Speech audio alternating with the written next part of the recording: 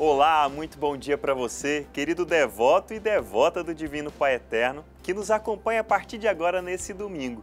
Que bom que mais um dia você que é filho e filha do nosso Deus está nos acompanhando aqui pelo canal da família dos filhos e filhas do Divino Pai Eterno. Gratidão pela vida de cada um de vocês que assistem todos os dias o nosso, a nossa revista eletrônica, que mostra para você informações diversas sobre esta obra de evangelização que o Pai Eterno colocou no coração e sob a responsabilidade dos missionários redentoristas. Esta família foi crescendo ao longo dos anos. Hoje ela conta com inúmeros colaboradores que presencialmente trabalham diariamente aqui em Trindade, em Goiânia e em outros lugares de Goiás para levar o amor do Pai Eterno até você.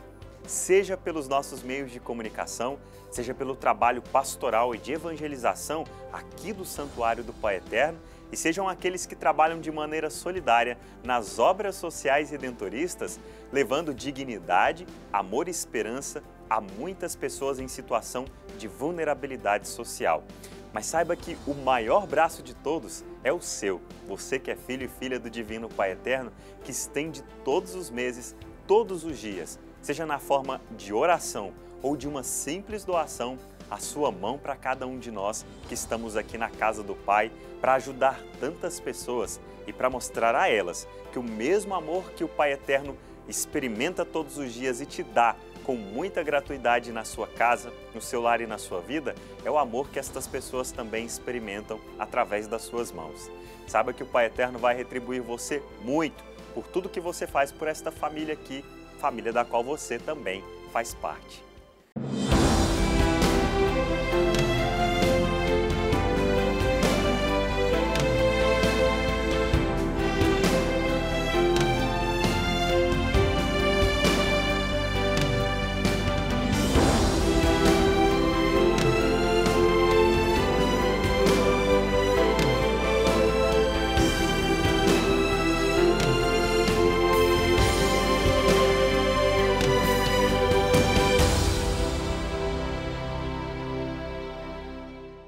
E já que nós estamos num domingo, dia de coisas especiais, eu tenho uma frase do Papa Francisco para já puxar o nosso VT principal do dia.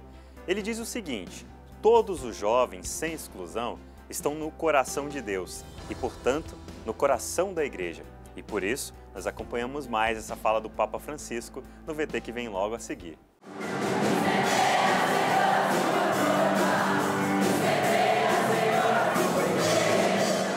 Todos os jovens, sem exclusão, estão no coração de Deus e, portanto, no coração da Igreja. Essa afirmação é do Papa Francisco, que sempre aponta os jovens como os responsáveis pelo futuro da humanidade. Por isso, é importante que eles estejam no caminho da fé. O jovem hoje, ele é sinal de futuro. Todas as vezes que a gente vê a juventude participando ativamente de alguma coisa nas nossas comunidades, é um sinal de que a nossa igreja respira, ela se vivifica e ganha uma nova vida, já que o jovem de hoje é o adulto do futuro.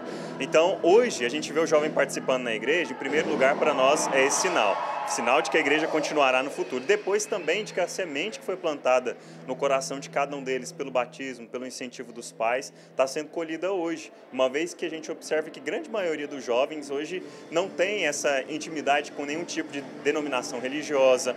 Muitas vezes os compromissos aos finais de semanas impedem né, de participarem ativamente de uma comunidade. E hoje é o dia em que muitos jovens, mais uma vez, estão reunidos aqui na paróquia Nossa Senhora da Guia, na cidade de Aparecida de Goiânia.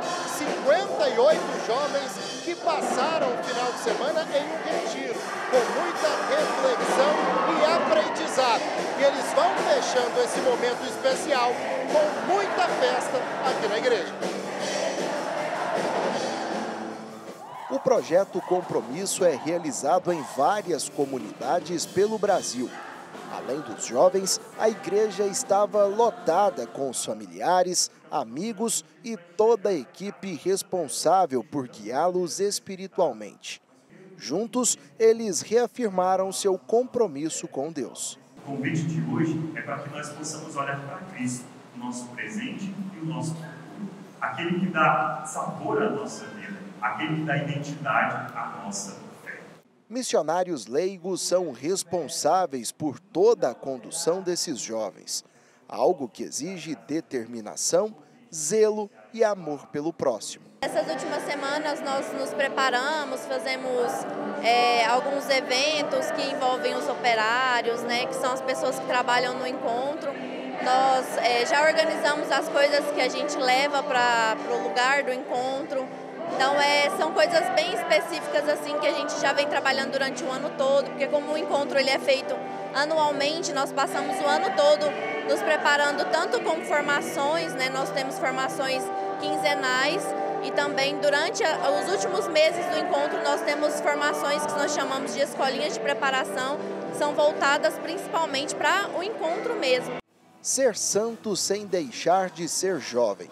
Esse é o lema do projeto Compromisso. E em meio a essa garotada que vivenciou esse ano de preparação, estava a jornalista Ana Luísa Abreu, que você acompanha diariamente aqui na TV Pai Eterno. Ela fez questão de deixar o seu testemunho sobre essa experiência de fé. São os três melhores dias da vida de quem topar fazer parte desse projeto. Eu saio renovada, com muito mais certezas do que eu acredito e do ser humano que eu preciso ser daqui em diante. Fiz ótimas amizades, reencontrei pessoas que eu não via há muito tempo e principalmente tive um encontro maior com a nossa mãe que é Maria, e com o nosso Pai, Deus. Então foi um momento incrível e, claro, tá naquela convivência com os jovens e fazer muitas amizades. Foi incrível. A juventude, mais do que um orgulho, é um presente de Deus. Ser jovem é uma graça, uma sorte. Essa é mais uma afirmação importante do Papa Francisco. E assim, a Igreja Católica convida os jovens a vivenciarem ainda mais de perto o amor de Deus. Durante todo o encontro, nós construímos então esse templo do Espírito Santo, renovando a nossa vida, renovando a vida deles, renovando a fé cristã. Procurem as paróquias, a administração e aceite fazer parte do compromisso, porque é um projeto que muda as nossas vidas e faz a gente entender muito sobre a sociedade também sobre as nossas escolhas. Então, por favor, aceitem fazer parte desse projeto que é tão lindo. Você que é jovem e se identificou com o carisma na sua comunidade, na sua paróquia, participe, não deixe essa oportunidade passar. O Cristo que nos chama, chama todos nós, jovens, adultos, crianças. Se você está em uma paróquia redentorista, procure fazer inscrição no projeto Compromisso, vivenciar esses três dias maravilhosos de vivência da fé, esse encontro querigmático com Jesus, de proximidade com outras pessoas. Ou se você não está numa paróquia redentorista, procure o grupo de jovens da sua paróquia também para deixar a semente do Evangelho, a semente do reino de Deus florescer no seu coração e na sua vida.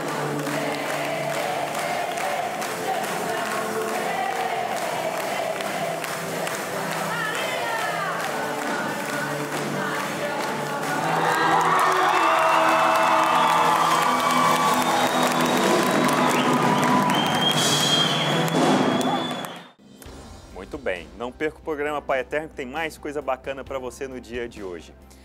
Agora é a hora do quadro Você Sabia, onde nós aprendemos mais sobre a nossa fé, sobre a doutrina da nossa igreja, ensinamentos importantes para cada um de nós. Dúvidas e curiosidades que nós sempre trazemos dentro do nosso coração, que às vezes não temos a oportunidade de tirá-las ao longo do nosso dia a dia. Hoje você vai saber a nossa dúvida que será respondida a você a partir da seguinte pergunta: Por que temos quatro evangelhos na Bíblia?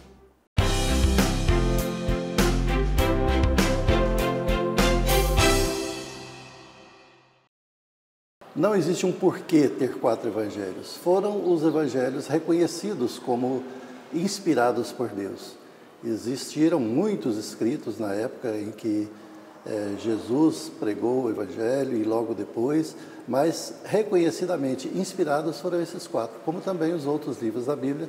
Todos eles foram reconhecidos e muitos retirados porque não foram reconhecidos como inspiração divina. Certamente essa pergunta era uma dúvida que você, devoto e devota, tinha aí no seu coração.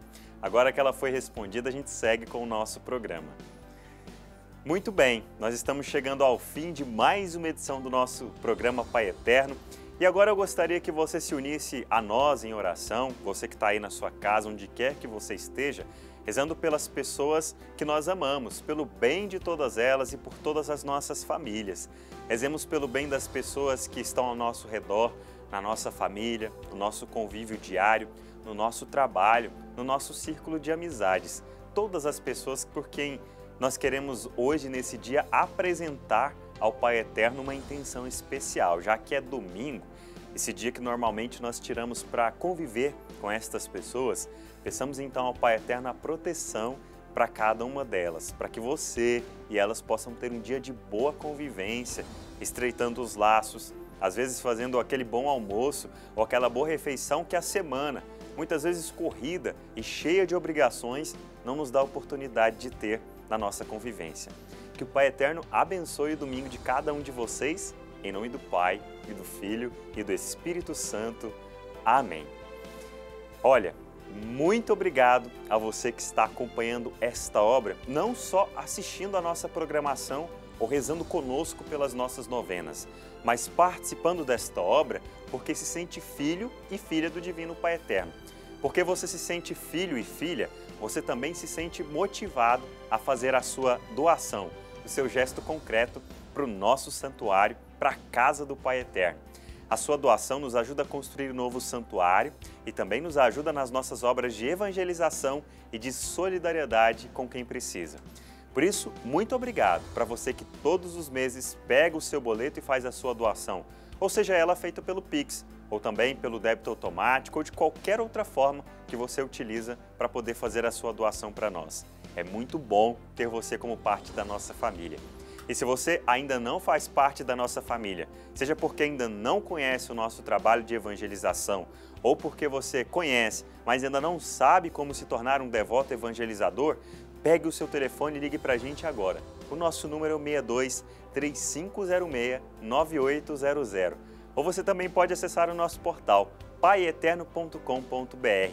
Por lá você vai encontrar uma aba só para fazer o seu cadastro e a sua doação. Nós estamos esperando que você faça parte desta família de amor.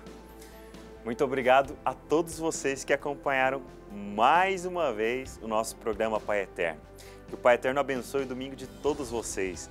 Um bom dia de convivência familiar. Aproveite o seu domingo, viu? Para estar ao lado das pessoas que você gosta e também para descansar.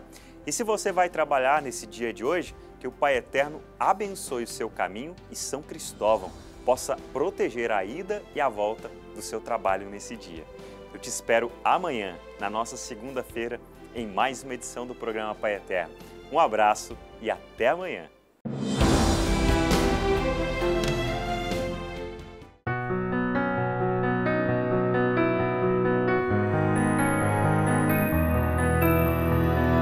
vez mais sou levado a entrar num tempo dentro do tempo. Um tempo que me revela duas verdades profundas sobre minha humanidade. Sou pó e voltarei ao pó.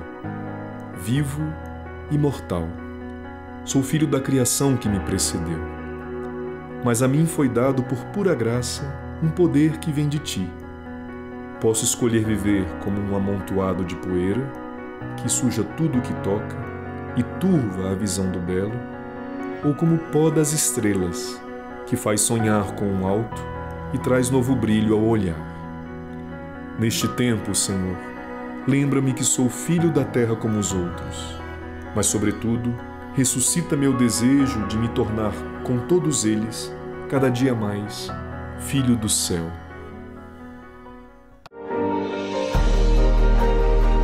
A minha experiência eclesial está ligada à minha família, que é muito católica, muito, muito presente na minha paróquia. E desde pequeno, a partir do meu batismo, eu sempre participei ativamente das atividades da igreja e pude, ao longo dos anos, contribuir. É, e foi a partir dessa experiência, contribuindo na catequese, na liturgia, que suscitou no meu coração a possibilidade de consagrar a minha vida. Foi ali naquela comunidade, experimentando o amor de Deus, a ternura de Deus, entendendo que Deus é amor, que eu consegui tomar uma decisão de consagração. E em 2004, com 14 anos, eu tomei a decisão de ir para o seminário. Então eu conversei com a minha família e pedi essa autorização. Foi a partir daí que eu comecei essa experiência de chamado, de seguimento e de entrega no caminho de Deus, no caminho do Redentor.